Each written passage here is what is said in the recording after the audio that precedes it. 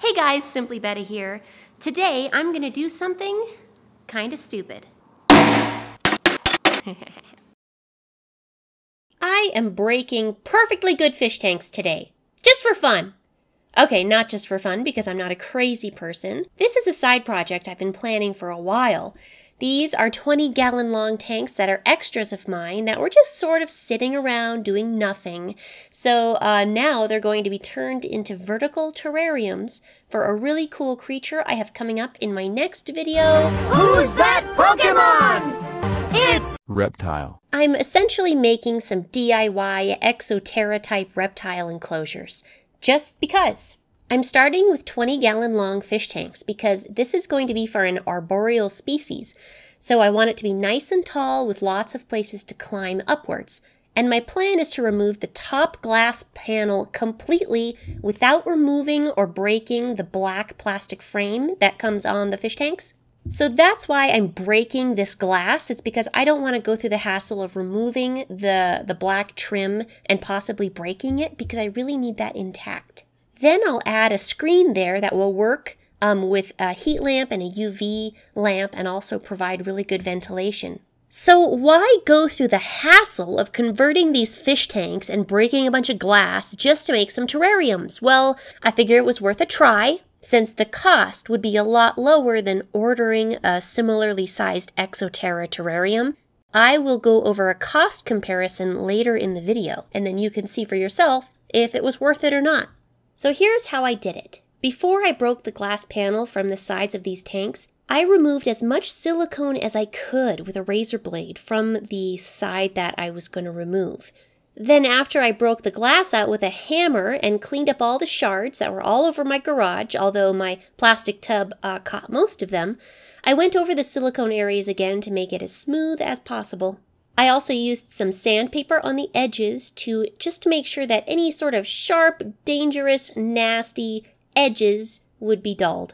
When I was done, I had two 20 gallon long tanks with a side really cleanly removed, and the frames were intact, which is perfect. It's exactly what I wanted.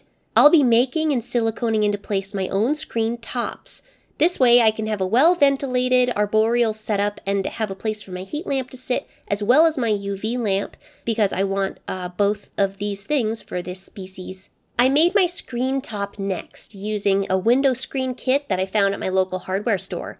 I cut the pieces of aluminum that it comes with to the sizes that I wanted, and I fastened them together into squares using the corner pieces that come with the kit, plus a few extras that I bought to make the screen for the second tank.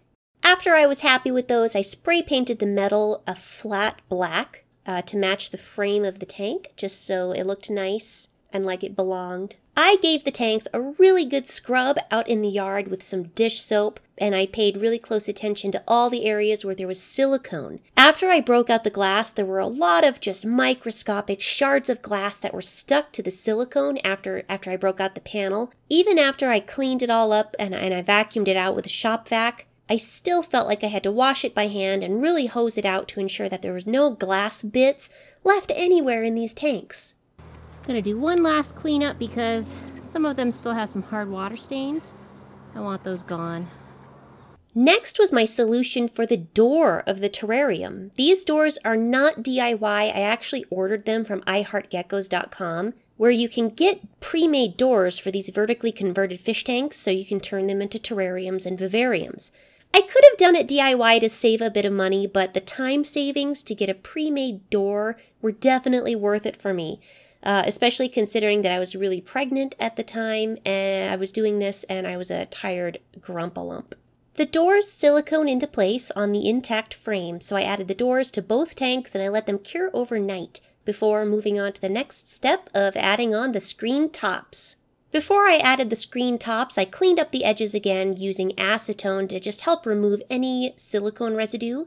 The tops looked pretty nice after that coat of flat black spray paint, so I fitted them to make sure that they were good to go before adding my screen. I ended up using a black fiberglass screen because it's what I had on hand and it was pretty cheap. I checked the specs for fiberglass screen online to make sure it would hold up to a heat lamp being close to it or even on top of it. It can. I siliconed those into place as well. Here is my result. Two vertically converted aquariums that are now suited to be terrariums for a certain adorable reptile species that I'll be going over in my next video. I like these doors. They were pretty inexpensive and I like that there are not any like bars or supports on the front blocking the view. The front's completely transparent.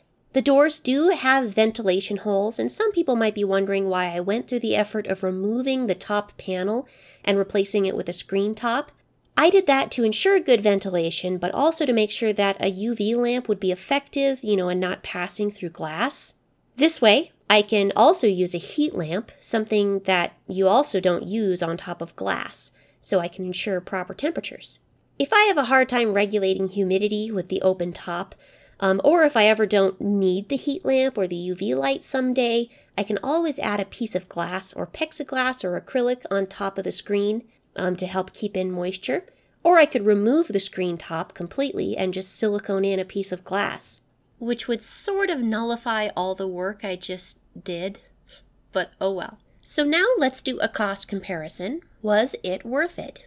The tanks themselves were $20 each. The doors were 38 the screen kit wasn't very much. I'm going to say it was like $5. The fiberglass screen was like $2.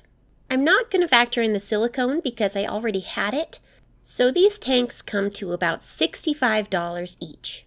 I'll be comparing these to a similarly sized Exo Terra, the small extra tall, which is 18 by 18 by 36, while the 20 gallon vertical conversion is like 12 by 12 by 30, so it is smaller. The lowest price I could find for this Exoterra was $280 after shipping costs. So my DIY option is a little smaller, but it's also about $215 less expensive. If I wanted to get two Exoterras for my two new additions, they would have cost 560 bucks.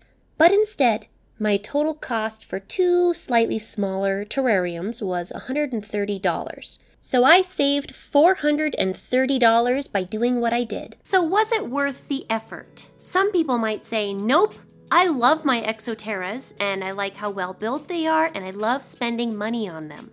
But I have to say it was worth it for me for what these are going to be used for. There are cons when comparing the 20 gallon long vertical conversion to the similarly sized Exo Terra like the fact that the Exo Terra is a little bit bigger in both dimensions, and it also requires substantially less effort to just buy, but it's still $215 more. So this was a good experience. I might be trying this again in the future with a larger aquarium that's gonna be just have bigger dimensions, maybe.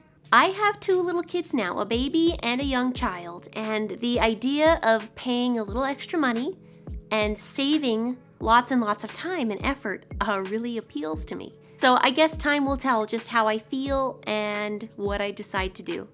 Some time has passed um, since I recorded this, since I actually made the terrariums, um, because that was before I had my baby. Um, I was filming lots of fun projects, but I wasn't really editing them, and then I got tired and cranky, and I went through the late pregnancy exhaustion, and uh, I basically didn't make the video. So I have this backlog of videos that I'm going back and I'm editing and that I'll be releasing very shortly. Pretty regular schedule now, I'm pretty sure.